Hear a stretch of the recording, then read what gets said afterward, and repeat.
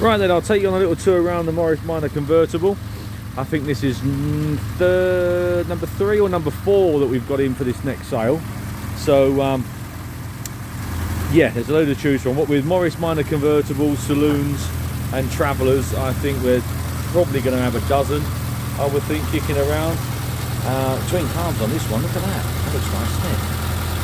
Uh, so, um, as I was saying, we've got plenty. There's your VIN number, so you can do some checks.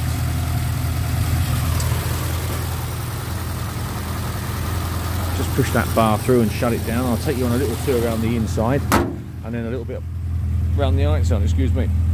Um, as I've said in the previous videos, uh, these are just designed to give you an idea as to what we have and uh, and if you think it could well be suitable and it's going to meet your requirements then the next step is have a trip over especially since we've got like I say 12 or so different uh, examples of either saloons um, travelers or convertibles.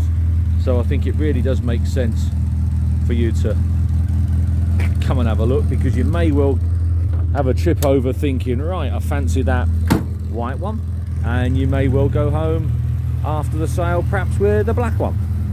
So um, come down and have a look. There's nothing like viewing these things is there? I can leave this car outside tomorrow and I will get five or six different opinions on the car ranging from how lovely it is to no I'm afraid it's not good enough for me. So that's why you've got to travel and have a look because they vary so much. And from the other side of the fence so do people's expectations. And what some what some regard as being extremely nice others don't. So uh, with such an important purchase I think it's paramount that you put a day to a side and uh, and travel up and have a look. Do some homework. Have a good check round.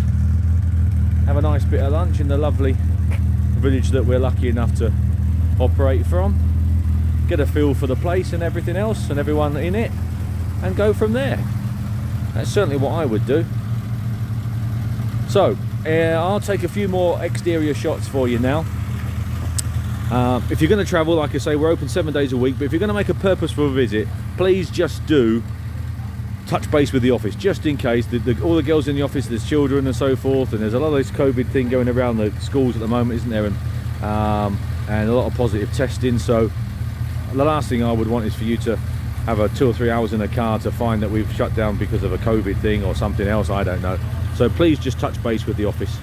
Um, and we have limited staff on a weekend. Other than that, hopefully I'll see you soon.